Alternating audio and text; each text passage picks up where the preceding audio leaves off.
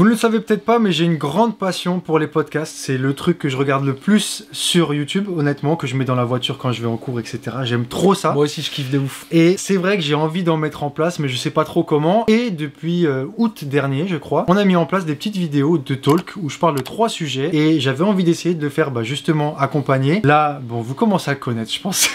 vous commencez à connaître Matouzou Enchanté, enchanté, comme d'habitude, qui est invité sur la chaîne. Tous les liens sont en description. Si vous voulez aller vous abonner, n'hésitez pas parce que le contenu y est très intéressant. Aujourd'hui, on va encore parler de trois petits sujets dont je t'ai briefé un petit peu avant. Yes. un sujet qui va. Les trois sujets vont t'intéresser. Les trois sont intéressants. voire un qui est quand même ta spécialité, donc c'est légitime de t'avoir invité Yes, là-dessus. cool. Mais avant toute chose, n'hésitez pas à réagir à tout ce dont on va parler durant la vidéo. Mettez, euh, je sais pas, faites-moi un long commentaire ou peut-être plusieurs commentaires, comme Ouais, vous voulez. Ce sera un grand plaisir, bah, justement, d'en débattre avec vous après. C'est vrai que c'est le petit truc un petit peu mieux avec Twitch, c'est qu'il y a de la, du direct. Ouais. Là, on est un petit peu en différé, mais c'est vraiment la chose que j'adore le plus avec vous sur YouTube, donc n'hésitez pas. Et si tout au long de celle-ci, vous kiffez, un petit like, ça ferait toujours plaisir. Un commentaire pour me dire bah, si vous aimez bien les formats talk, un petit peu accompagné. Euh, Là, en plus, j'ai un cadre, franchement, Matt, il m'a mis. Ah, là, je l'ai il régalé. m'a mis Là, dans, une- dans un truc vraiment, je suis trop trop bien. C'est Cozy Sneakers. Voilà. Et n'hésitez pas à vous abonner pour ne pas rater les prochaines vidéos. Et on se retrouve tout de suite avec le premier sujet.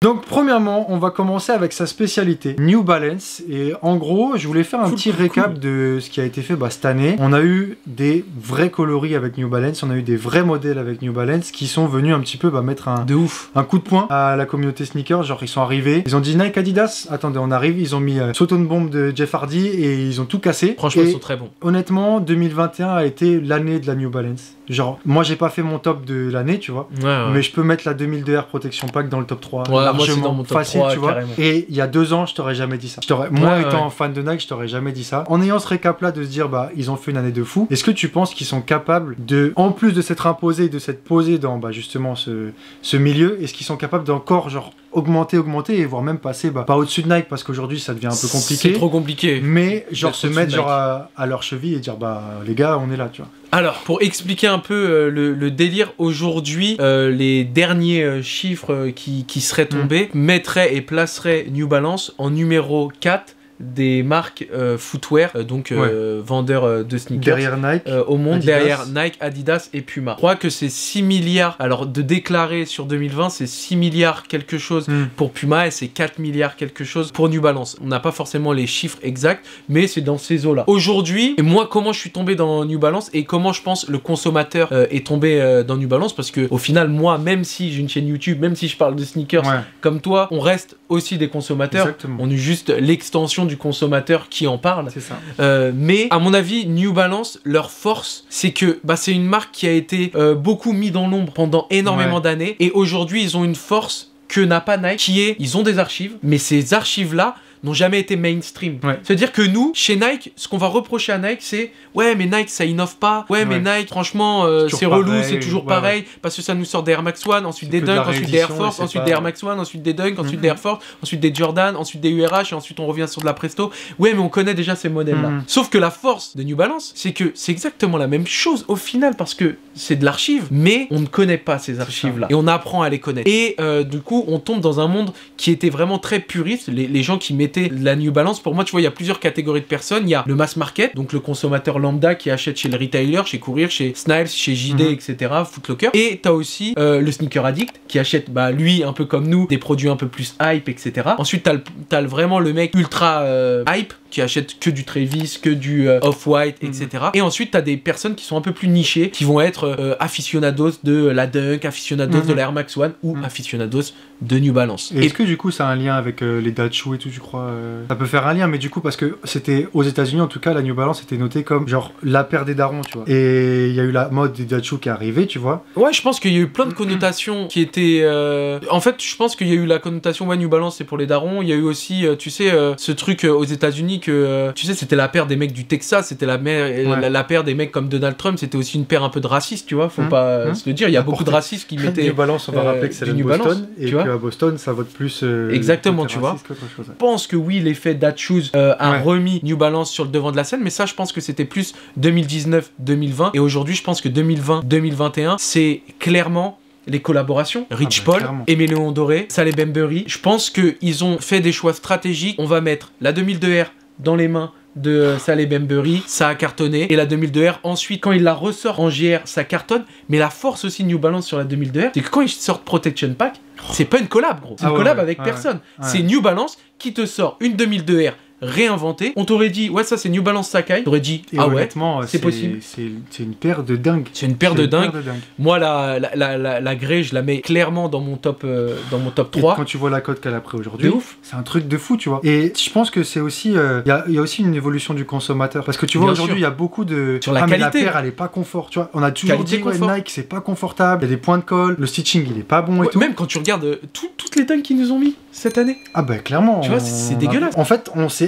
habitué, malheureusement, Ouais. à avoir un truc un petit peu naze, genre, bah, c'est faut le dire, genre, la paire, elle est pas qualitative du tout. Grave. Et qu'au moment, par exemple, où ils nous sortent des à ma manière, on est en mode, waouh, la paire, Truc elle est folle ouf et et tout. tout. Ouais, de Alors ouf. que ça devrait être la normalité. Et ça, ça a été un débat, un débat, un débat, un débat. C'est vrai que New Balance, ils sont arrivés et ils ont imposé un peu ce truc-là de regardez, on fait des paires cool. Alors peut-être ça va pas plaire à tout le monde, mais en Bien tout cas, ça va faire des paires cool. On va, on va vous montrer que avec nos collabs, on est très fort et que de toute façon, nos paires elles sont confort, qualitatives et qu'elles vont vous durer dans le temps. Et genre, Exactement. sur ça, bah, c'est ce qu'on attend d'une basket de base, tu vois. Et ça, c'est grave le point fort. Et je dirais même, il y a aussi ce truc-là de on sait où la paire elle est fabriquée et qu'il n'y a pas de euh, ouais, euh, c'est un gamin euh, en Ouais. Asie qui fabrique ma paire. Donc en fait, t'as la responsabilité, donc made in US ou made in England. Alors après, t'as as du Asia, mais la plupart 992, 990, ça va être aux US. Mhm. 991, ça va être, euh, ça va être en, en Angleterre. On sait euh, où c'est fabriqué, on sait qu'il n'y a pas de, de, de trucs bizarres. C'est confort.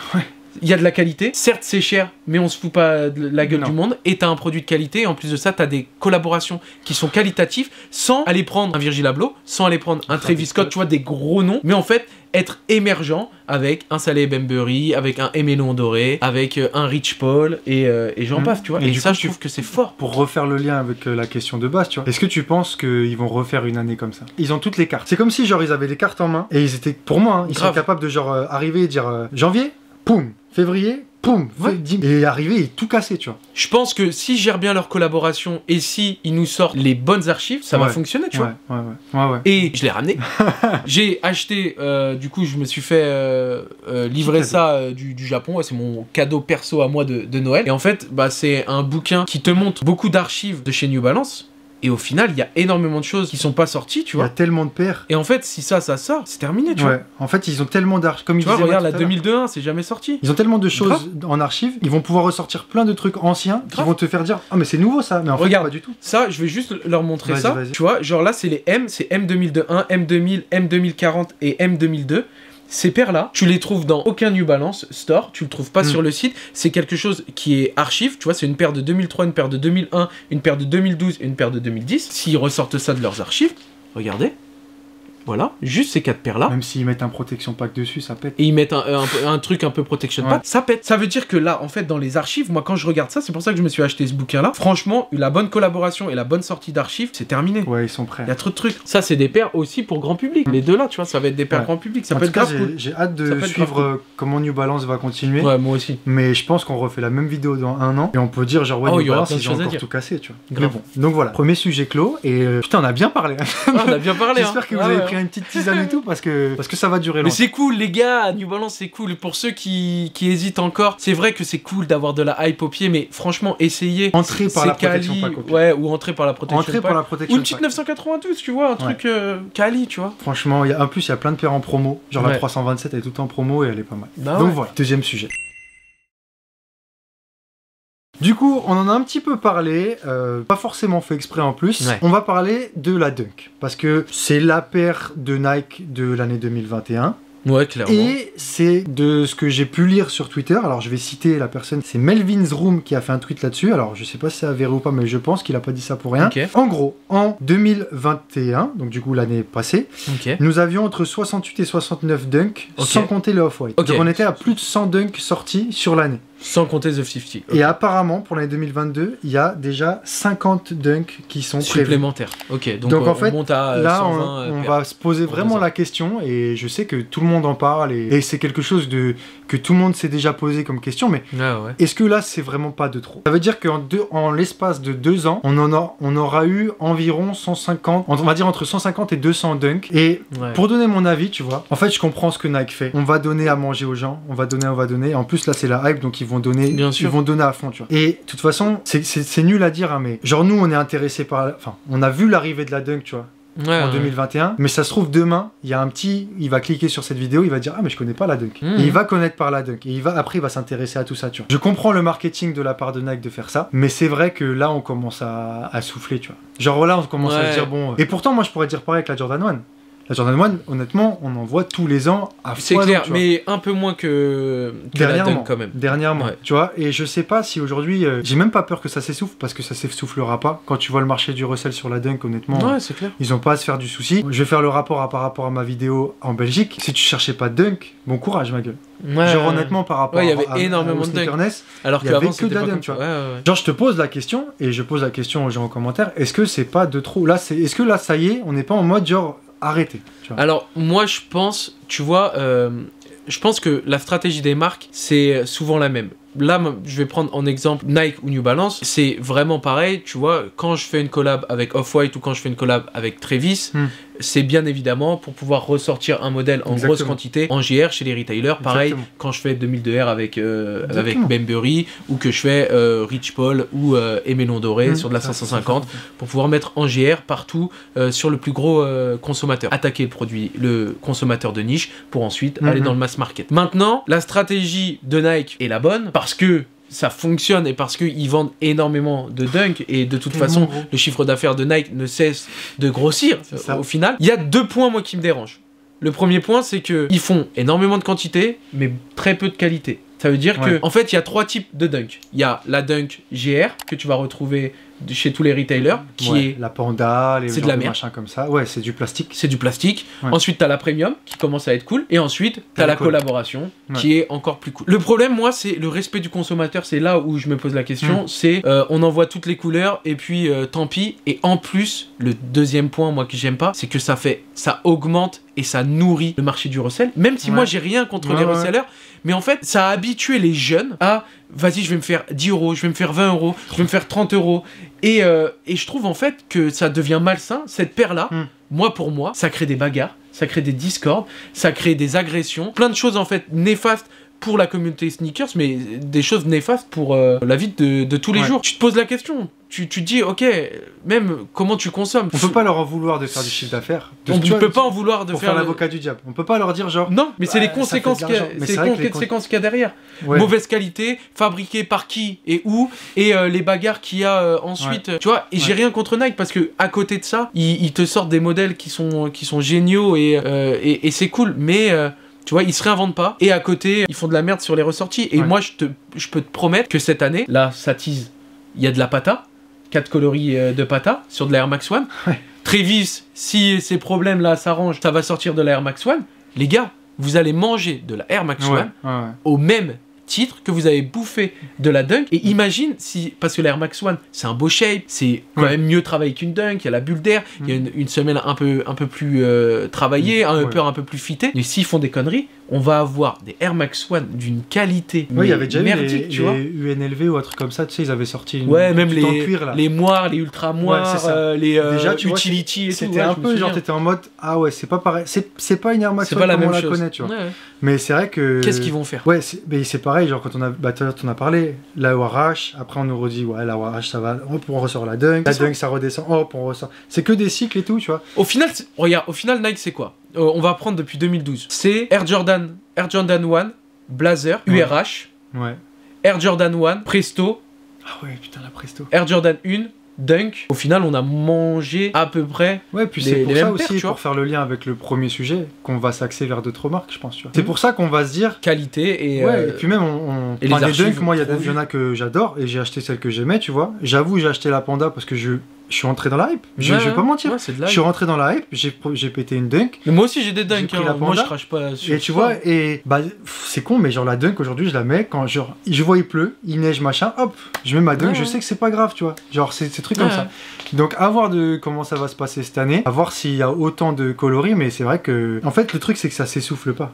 Ouais, ça. ne s'essouffle pas. Après, ce qu'il faut se dire aussi, malheureusement, et c'est là où, en fait, tous nos arguments, ils, ils tombent un peu à l'eau, il faut pas oublier que Nike, il ne crée pas les paires et il ne fabrique pas les paires pour les consommateurs comme nous. Nous, Non. on est 10% de leur euh, chiffre Ouais. d'affaires. Ils vendent au grand public Ouais. et le grand public en a rien à foutre. Ils veulent juste retrouver la paire à la mode, la paire qu'ils voient euh, sur Instagram, la paire qu'ils voient euh, au pied de Michou, de Inox Ouais, ou de leur rappeur préféré. C'est c'est vraiment, c'est Mm. vraiment ça, tu vois, Et le but de Nike. Et c'est bien fait. Et félicitations Nike parce que la stratégie est très bonne.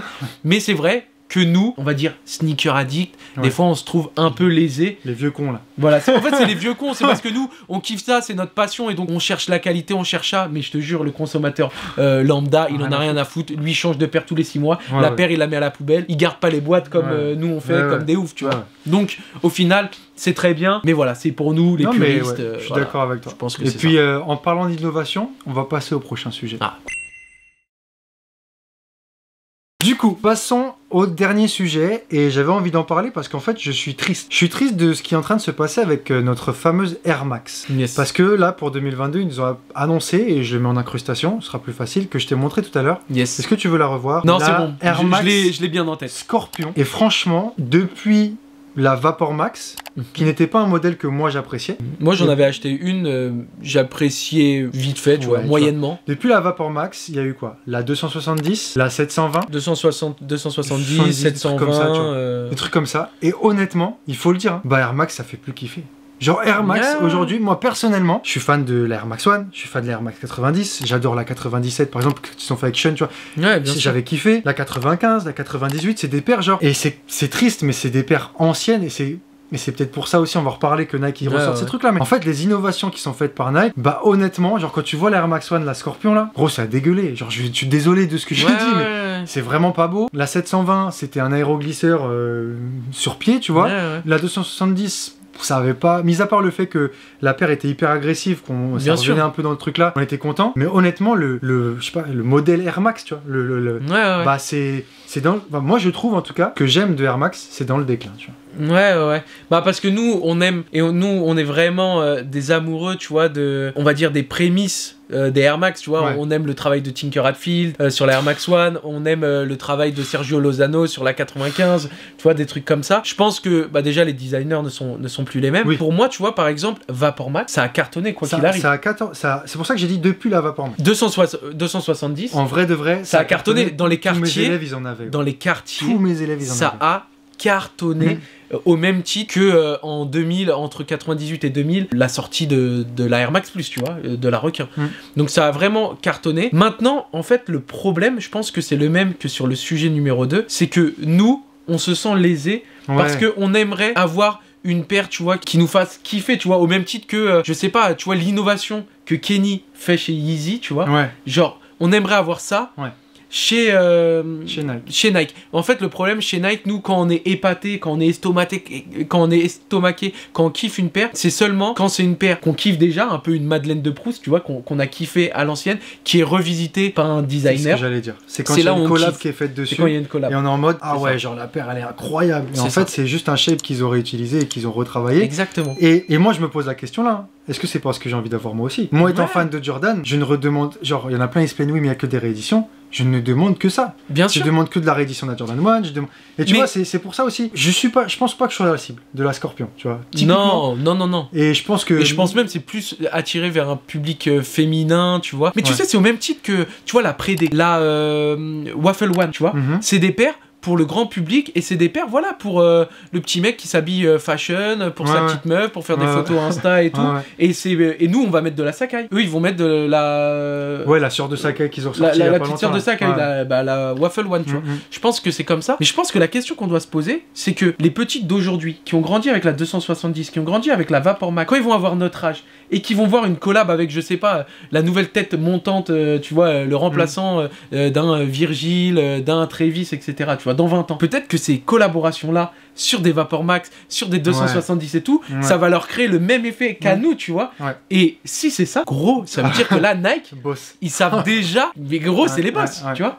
Non, je pense que ouais, c'est aussi ça. Il faut que personnellement, je sorte de mon truc de vieux blaireau, tu vois, genre de mais moi j'aimais ça, j'aimais. Ouais, ouais. Alors le design ne me plaît pas, c'est un fait, et c'est plus le truc du genre, euh, je ne me sens plus, en fait, je ne me sens plus attiré par ce que je vais voir dans les rayons chez JD. Chez Snipes, chez Courir. Je n'y rentre plus. Ouais, Genre, ouais. je vais pas te mentir, la seule fois où je rentre chez un JD, c'est pour acheter du produit euh, nettoyant. Ouais, du produit Ou nettoyant. pour aller acheter euh, un ensemble Nike ou un truc comme ça. Mais je n'y vais pas pour me dire, ok, euh, la dernière fois que j'ai acheté une paire à un JD, c'est une Air Max One. Parce que toi, au final, maintenant, t'es client d'un magasin comme The Next Door, comme SNS, comme Exactement. Patrol, comme Size, qui propose des produits un peu Exactement. plus nichés. tu vois. Exactement. Ouais, non, je mais... pense que c'est ça. Je pense que c'est plus ce truc-là et c'est c'est pour ça que c'est intéressant d'en parler. Tu vois, Ouais, que ouf. on Non, c'est intéressant. question, tu vois. mais pour moi, ce qu'on doit leur reprocher, c'est manque d'innovation et la qualité des produits. Ouais. Mais sinon, tout ce qui est stratégie, tout ce qui est marketing, au final, ils font bien le taf. Après, on peut aussi leur reprocher euh, SNKRS, là, euh, le- les, les rates. J'ai même euh, pas envie d'en on parler. gagne, on gagne pas. tu vois ce que dire Moi, envie j'ai effacé mon truc, c'est bon, là, ça me saoule. de J'ai même pas envie d'en parler. Mais bon, c'était grave intéressant. Grave lourd. Franchement, je sais pas si un jour on passera en podcast. Parce que podcast, je sais pas si ça sera Dites-nous si vous voulez des podcasts, les Ouais. gars. J'en suis sûr que vous en voulez. Mais honnêtement, ces trucs-là, genre moi, c'est euh, ces moments-là où genre j'ai l'impression que j'ai- je, je parle vraiment. Ouais, Quand je vais présenter une paire, euh, forcément je vais présenter une paire que j'aime, forcément je vais présenter un truc qui m'intéresse et tout, ou qui va faire parler. Bien sûr. Mais c'est vrai que là, le truc où on va parler, en plus toi je sais que t'es- il parle trop lui. Ah, moi j'aime trop, et surtout quand on parle de, de- des passions communes. Et puis tu là, ouais, là, je t'ai amené cool. dans un truc où je savais que ça allait être intéressant de parler New Balance avec toi, de parler des cool. anciens modèles ou de, de, de paires qui sortent dans des retailers euh, qu'on Ouais, peut voir partout. Après, j'ai- pas la vérité absolue quoi, c'est vraiment. Bien sûr. Moi, c'est mon point de vue, c'est mes opinions. Après, euh, ça peut être euh, divergent ou pas, tu vois. Mais, Mais, c'est pour ça que l'espace commentaire est fait pour vous et que je dis toujours avec respect. Vous Ouais, avez ouais. le droit d'avoir un avis qui est convergent ou divergent, mais il n'y a, pas de- y a pas de vérité absolue. S'il y a des mecs qui kiffent la, la Air Max Scorpion là, Bien mais sûr. tant mieux. Et même s'il y a des mecs Tant qui mieux. pensent que Nike, il, euh, les dunks, c'est de qualité, vous pouvez aussi euh, y sûr. croire. Et je peux comprendre si genre votre manette de Proust dans 5 ans, bah ce sera la dunk. Si vous êtes Ouais, rentré par là, ça m'étonnerait absolument De pas. ouf. Mais voilà, en tout cas si vous avez kiffé, n'hésitez pas à réagir à tout ce qu'on a dit là en commentaire. C'est lourd, hein. les vidéos comme ça, c'est trop lourd. hein. J'ai très hâte. Honnêtement, euh, si Dans vous le aimez canapé là. les trucs à deux, moi franchement je suis très bien là. Genre, je suis franchement, très bien. on éteint la caméra, on va discuter. Mais n'hésitez pas à mettre un like si vous avez kiffé, à le dire en commentaire, à vous abonner pour ne pas rater les prochaines vidéos qui vont suivre, comme d'habitude le vendredi à 18h sur ma chaîne. Il y a tous les liens des sociaux, de la chaîne YouTube, Instagram, Twitter, de By Musu qui est juste ici. N'hésitez pas à aller voir ces vidéos et en plus je fais des petites apparitions des fois sur sa de chaîne. temps en temps, et je exactement. pense que cette année on va quand même plus se voir que l'année dernière. On va faire Ouais. plus de trucs et ça L'année dernière, on a fait quoi? Trois vidéos sur ma chaîne avec toi Et et, une sur la et une sur la une tienne. sur la mienne. Et bah là déjà, regardez bien sur ma chaîne, sur la sienne, vous allez être servi là. Janvier, février, on commence à bombarder. Ouais, et ouais, c'est cool. Et en plus de ça, euh, on a commencé en même temps notre aventure YouTube. Ça être trop bien. Donc euh, let's go, tu Quand vois. on va fêter les ensemble. 100 000 abonnés ensemble. Un jour, Oh, peut-être, hein. Un jour, j'espère. peut-être. Je nous le souhaite. Mais en tout cas, portez-vous bien, faites attention à vous. On se retrouve la semaine prochaine à 18h. Ciao.